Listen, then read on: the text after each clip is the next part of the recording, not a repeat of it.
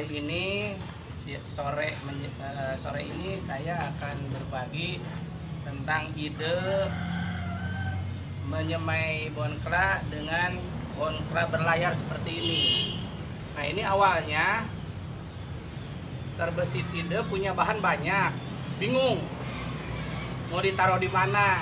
Nah teringat saat kecil suka lihat e, buah kelapa tumbuh di kolam. Ya akhirnya saya lemparkan di kolam. Nah jadinya seperti ini.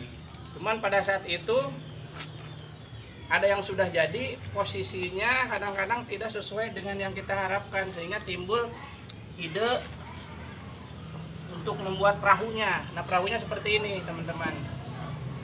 Nah ini perahunya terbuat dari styrofoam nah ini styrofoamnya dikasih bolong disimpan di atas air kolam. Nah jadinya seperti ini. Nah ini belum diapa-apakan nih bahan ini. Akarnya sudah panjang seperti ini. Ini hanya disimpan pada bagian yang bolong ini. Dan ini full kena sinar matahari belum disayat.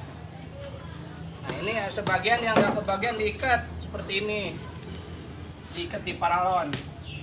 Nah ini juga akarnya sudah cukup banyak. Nah ini tapi kalau di di apa dibiarkan begini kadang-kadang posisinya nggak pas.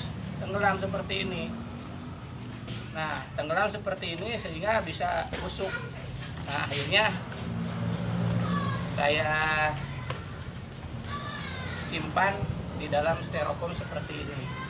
Nah ini kalau ada waktu nanti di program sesuai dengan uh, apa program yang kita bikin masing-masing.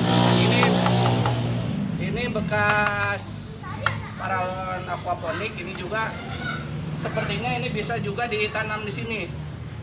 Tapi belum saya coba nih. Kayak aqua hidroponik tanam bonkla seperti hidroponik.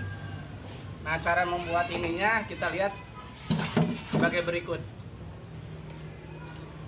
Nah untuk bikin perahu bonkla eh, cari styrofoam ini bekas buah-buahan. Ada anggur apel biasanya ada di, di tukang buah-buahan ini. Terus dicetak dicetak seperti ini. Pakai apa saja yang bulatnya sesuai dengan kebutuhan